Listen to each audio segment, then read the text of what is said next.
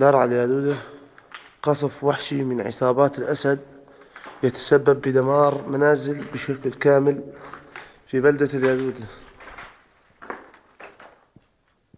دمار كبير في منازل المدنيين العزل يجبرهم على الرحيل والنزوح عن هذه البلدة يوميا.